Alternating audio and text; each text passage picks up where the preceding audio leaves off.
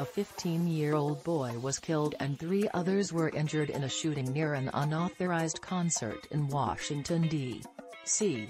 On Sunday evening, amid reignited calls for tighter gun ownership laws following a string of high-profile mass shootings across the country. We have a child that was killed Toda,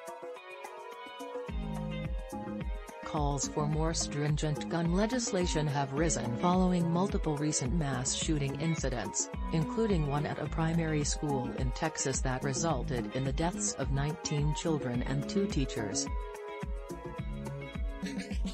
Earlier this month, a bipartisan group of 20 senators unveiled a legislative proposal that would step up background checks for people aged between 18 and 21 and offer funding to states to pass red flag laws allowing courts to temporarily take away guns from people deemed high risk. 68%. That's the percentage of voters across the country who support the enactment of stricter gun laws, according to a Morning Consult slash Politico poll published last week. A majority of respondents from all political cohorts, Democrats 90%, Republicans, 51%, and Independents, 67% said they support such legislation.